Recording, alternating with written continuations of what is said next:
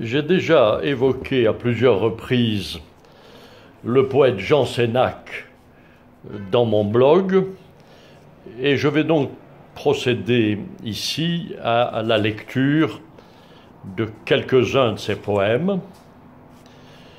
Je les extrais d'un livre qui est paru en, en 2019 qui s'appelle Jean Sénac, œuvre poétique qui est paru à Actes Sud, avec une préface de René de Secati et une postface de Hamid Nasser Kodja. C'est un livre qui est important parce qu'il est euh, la publication de l'ensemble de l'œuvre poétique de Jean Sénac, qui a été, comme vous le savez, salué par le poète René Char. Je ne reviens pas sur ce poète algérien, ami de Camus, avec qui il se séparera car il prendra très nettement position quant à lui pour l'indépendance de l'Algérie. Je ne reviens pas sur sa mort, assassiné dans son sous-sol de l'avenue Élysée Reclus à Alger, et je ne reviens pas non plus sur la façon tout à fait malheureuse dont il a été traité par le pouvoir algérien. Je me contente ici de lire un certain nombre de ses poésies en espérant euh, que les auditeurs voudront aller plus loin et connaître davantage cette œuvre. Je commence par un poème qu'il a intitulé Nos, qui se trouve à la page 47 de ce volume, et j'y ai trouvé un certain nombre de réminiscences du Nos de Camus, celui où il évoque, vous le savez, Tipaza au printemps béni par les dieux. Voilà donc le poème de Jean Sénac. Nos. Tout ici est de peau bronzée, abricot doux comme une fièvre. Les regrets ont mis sur mes lèvres la nourriture d'un été. Tout ici est d'algues rapides, caressantes comme un secret, le corps étant sa vanité sous une parole limpide. Tout ici est de sable exact, où le pied brouille les chemins avant de retirer la main, tu refais la mer excessive. Tout ici est d'amour fragile, à la mesure du soleil, tu déniches dans un orteil lancinant le dépôt des îles. Tout ici est d'haleine vive, de promesses, de prouesses désordonnées, de rires souples, des pagaies, renouent les foires primitives. Tout ici est suant de sève, son corps têtu comme ses mots sa voix charnue comme son rêve, son cœur tendu entre deux eaux. Tout ici installe la gloire, l'orgueil aliène la raison. Quelle joie trouble la saison et réussit à l'émouvoir. Castiglione 22 juillet 1949. Et maintenant, jardin, au pluriel, jardin du différent, à la page 71 de ce volume. Je sais maintenant que rien ne s'arrache du cœur qui fut lié dès l'enfance et que la solitude est bien plantée dans les plages du nom. L'arbre est fidèle mais ta voix scintille dans la gorge comme un verre que le promeneur écrase sans le savoir. Ce qu'elle dit, tu le connais. Elle est l'écho de ton silence. Il n'est pas de réponse au siège dérisoire, ni l'imprécise rigueur d'un appel pour apaiser.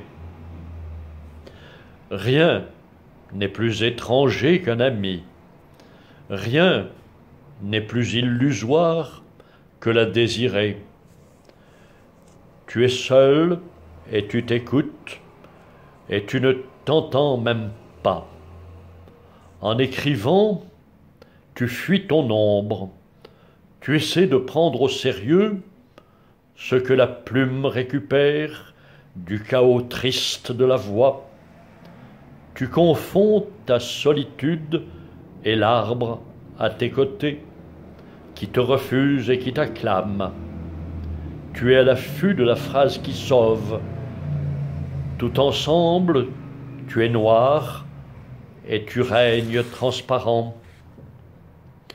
Tu cries dans le secret ta friable espérance. Ô monstre de tendresse, mon ami, dur, ô moi. Tu cries, mais l'ordre est brut et la pierre est scellée. Seule une tête blonde se retourne apeurée. Enfant du Luxembourg, citoyen de mon silence.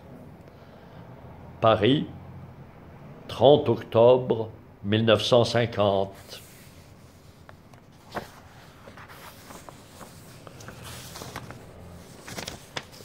Et à la page 250, 239, Je t'aime. Il faut trouver les mots qui soient les jumeaux du silence. Il faut accueillir chaque objet comme un compagnon de nos jours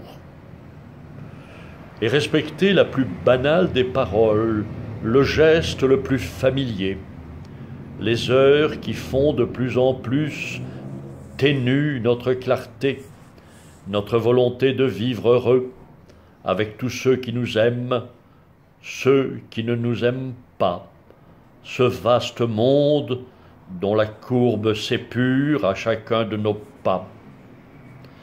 Et quand la nuit nous frappe, l'affronter avec dans nos yeux la volonté du soleil, afin que le soleil triomphe, et que dans nos mains ouvertes, le brevier venu puisse lire notre fidélité au jour. Je t'aime, nous sommes fidèles à nos rêves, nous sommes fidèles à la paix.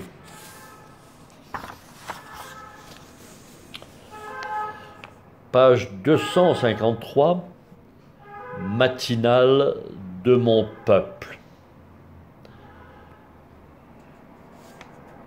Tu disais des choses faciles, travailleuses du matin. La forêt, poussée dans ta voix, des arbres si profonds que le cœur s'y déchire et connaît le poids du chant la tiédeur d'une clairière, pour l'homme droit qui revendique un mot de paix, un mot à notre dimension.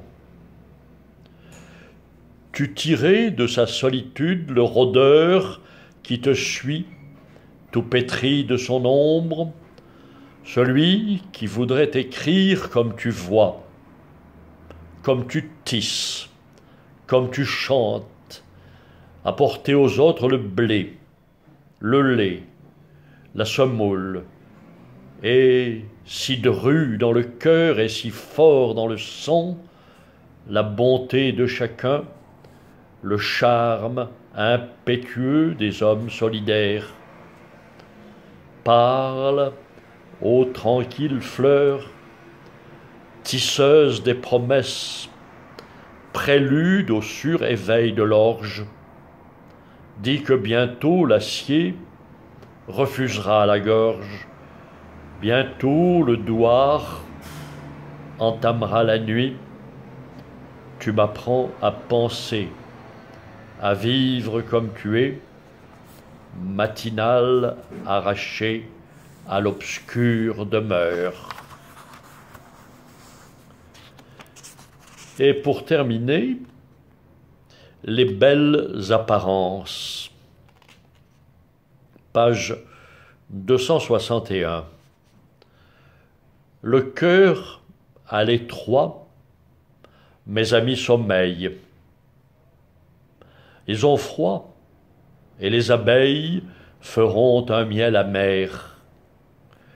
Mon pays sourit aux touristes, Alger la blanche dort en paix. Vont et viennent les quarts de police, la lèpre au cœur est bien gardée. Qui donc ira dénoncer la grande amertume des ruches, le corps à l'étroit, les pauvres trichent avec le froid. Belle peau de douce orange et ses dents de matin frais, la misère donne le change.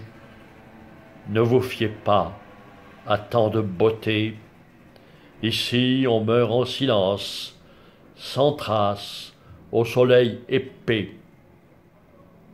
Mais demain, le miel amer, qui voudra le goûter?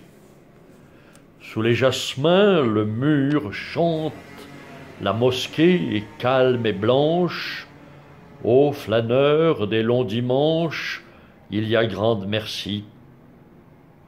À la surface de la nuit, tas d'ordures, sacs et pluie. Merci d'avoir entendu ces quelques poèmes et j'espère qu'ils vous donneront envie de connaître davantage encore ce poète Jean Sénac, ce poète algérien d'expression française et que René Char admirait tant.